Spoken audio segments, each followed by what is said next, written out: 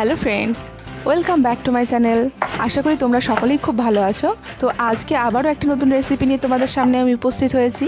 আর আজকের রেসিপিটি আমার হতে চলেছে কাঁচা কলার খোসার রেসিপি কাঁচা কলার অনেক রকমের রেসিপি আমি তোমাদের সঙ্গে শেয়ার করেছি এবং তোমরাও জানো। তো কাঁচা কলার খোসা ফেলে না দিয়ে, সেই খোসাগুলো দিয়ে কীভাবে একটা নতুন রেসিপি তৈরি করতে পারো, সেটা আমি তোমাদেরকে জানাব। কিন্তু কাঁচা কলার খোসার তৈরি এই রেসিপিটি জানার জন্য পুরো ভিডিওটি শেষ পর্যন্ত দেখতে থাকো। তো তোমরা দেখতেই পাচ্ছ, এখানে আমি কাঁচা কলা নিয়ে নিয়েছি। এবার এর থেকে পাঁচ ছটা মতন কাঁচা কলা আমি নিয়ে নেব। তারপর কলার দুই সাইডটা কেটে ভালোভাবে জলে ধুয়ে নিয়ে একটা কুকারের মধ্যে দিয়ে তিন থেকে চারটি মতন সিটি মেরে নেব, যাতে কাঁচা কলাটা খুব ভালোভাবে সেদ্ধ হয়ে যায়। তো তোমরা দেখতে পাচ্ছ কাঁচা কলাগুলো খুব ভালোভাবে সেদ্ধ হয়ে গেছে। এবার আমি এই কলাগুলো থেকে ওপরের যে খোসাটা, সেটা ছাড়িয়ে নেব। তবে এই কাঁচা কলা দিয়ে আমি আরও একটি রেসিপি তৈরি করব। সেই রেসিপিটি তোমরা নেক্সট ভিডিওতে পেয়ে যাবে।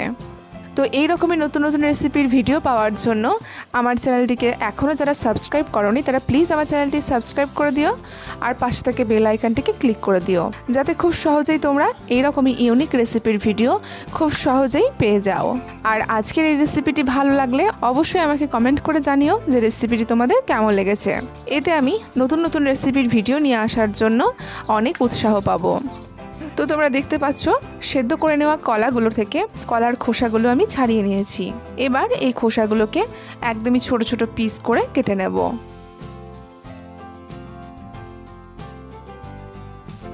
এবার একটা মিক্সার জার নিয়ে নিয়েছি। এই মিক্সার জারের মধ্যে দিয়ে দেব কুচানো কলার খোসাগুলোকে। তারপর এই খোসার মধ্যে আমি অ্যাড করব কয়েক কোয়া রসুন। আর নিয়ে নিয়েছি সাত থেকে আটটা মতন কাঁচা লঙ্কা। এবার এই উপকরণগুলোর একটা স্মুথ আমি পেস্ট তৈরি করে নেব। তোমরা দেখতে পাচ্ছ, খোসাটা আমি কতটা স্মুথভাবে বেটে নিয়েছি। এবার এই রেসিপিটি তৈরির জন্য গ্যাসের মধ্যে দিয়ে দিয়েছি একটা প্যান তার মধ্যে দিয়ে দেবো ওয়ান টেবিল স্পুন মতো সর্ষের তেল। সর্ষের তেলটা গরম হয়ে আসলে এর মধ্যে দিয়ে দেবো একটা শুকনো লঙ্কা আর দিয়ে দেবো সামান্য পরিমাণ কালো জিরে। এবার শুকনো লঙ্কা আর কালো জিরেটাকে আমি একটু ভালোভাবে ভেজে নেব। এখন এই তেলের মধ্যে অ্যাড করে নেব কলার খোসার যে স্মুথ পেস্টটা আমি তৈরি করেছিলাম, সেই পেস্টটা আমি এর মধ্যে অ্যাড করে দেব। তারপর একটু নেড়ে ছেড়ে নেব।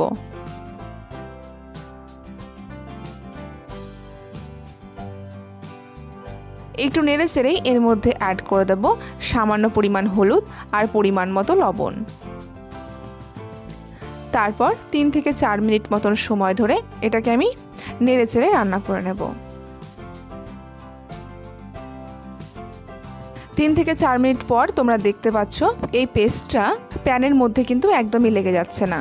আর এর মধ্যে থাকা যে এক্সট্রা জলটা, সেই জলটা কিন্তু একদমই শুকিয়ে এসছে। তো এখন আমাদের কাঁচা কলার খোসার তৈরি ভর্তা একদমই রেডি এই কাঁচা কলার খোসার তৈরি ভর্তা তোমরা গরম গরম ভাতের সঙ্গে সার্ভ করতে পারো। ওপর থেকে দিয়ে দেবো সর্ষের তেল।